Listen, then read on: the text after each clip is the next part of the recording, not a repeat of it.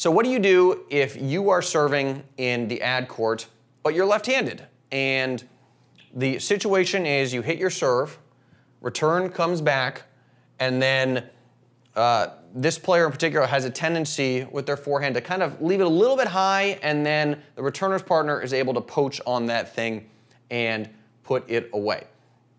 So this is a tip I learned from Martina Navratilova, and it doesn't matter if you're a lefty or a righty in this situation.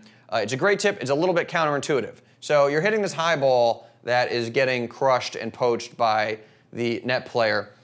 So you might think, well, I need to get the ball down, or I need to rip it, or I need to hit it behind.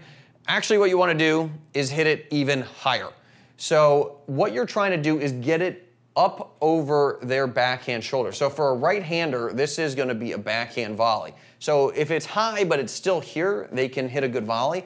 But if they're now reaching like this, where it's almost a backhand overhead, then uh, they're not going to be able to think, do anything with it. They're going to hit a weak shot, then your partner's going to come in and clean up. So you one way to think about it is you hit your ground stroke even higher, or you hit like a low lob. Like you're not trying to actually clear this person necessarily. You just want to force them to hit a high backhand volley, like really high backhand volley, or high backhand overhead. One nuance to this is you want to make sure they are not coming to the net.